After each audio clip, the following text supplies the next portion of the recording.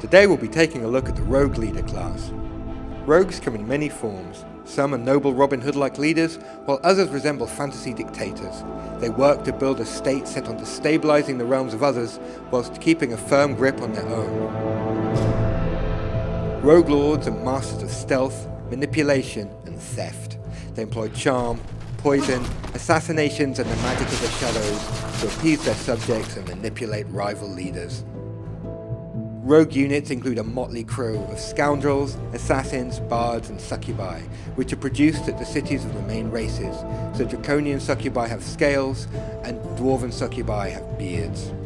Rogues can also summon sinister creatures, like the Shadow Stalker, the ultimate stealth assassin. Rogues prefer to operate unseen. They have many stealth units and also spells that help their scheming. With a spell like Nightwish, they can shroud their cities in darkness.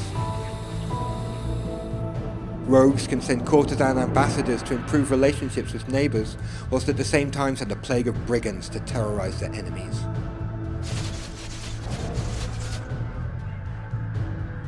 In combat, rogue skills focus on speed, poisons, and trickery. They use smoke screens or cause mass panic in enemy ranks in preparation for their killing move. If you like rogues and RPGs, you won't be disappointed with this potent leader class in Age of Wonders 3.